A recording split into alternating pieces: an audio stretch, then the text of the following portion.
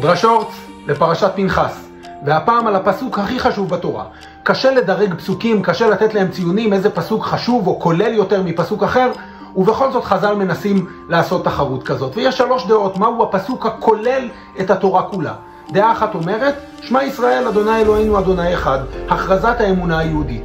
דעה אחת אומרת, ואהבת לרעך כמוך אני אדוני, אותו פסוק שרבי עקיבא ראה בו כלל גדול בתורה.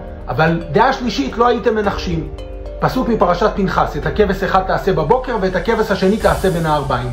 המחויבות, הנאמנות היומיומית, זה היסוד החשוב ביותר בתורה, שבלעדיו אי אפשר לבנות שום דבר.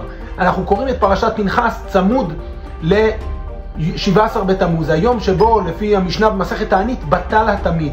הרגע הזה שבו הקביעויות מתפרקות, זה הרגע שבו מתחיל החורבן. ולכן הנאמנות היומיומית, המחויבות לכל יום לעשות את הדברים החשובים לנו באמת, זה היסוד החשוב ביותר בתורה. הוא חשוב באמונה, הוא חשוב בערכים אחרים, הוא חשוב במשפחה, הוא חשוב במערכות יחסים. שבת שלום.